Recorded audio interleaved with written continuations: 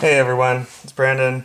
Uh, I want to show you, uh, share with you uh, my method for removing these press-on props without, without twisting, um, without damaging the prop, and without damaging the motor. Alright, so the kit that I'm using is this. So I mentioned in another video that I do watchmaking, I collect watches and stuff. So uh, this is a watchmaker's tool, watchmaker's toolkit. It's an amateur watchmaker's toolkit. This is the tool right here. It's a case back opener. And I don't know, it's kind of like an oyster knife like thing. It's not very sharp. But what you can do with this is,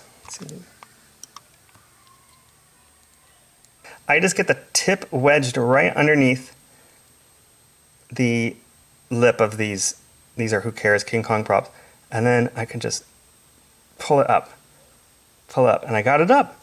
So now what I'm going to do is I'm just going to get the blade in there instead of the tip. And I'm just going to leverage right off of the bell.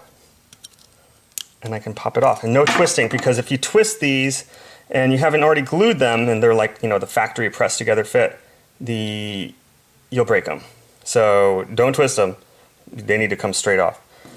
So that's how you do that. And I'm going to pop this bell off and I'm going to replace it with a new bell. I keep I always keep extra bells. And um, we'll see if this works. All right.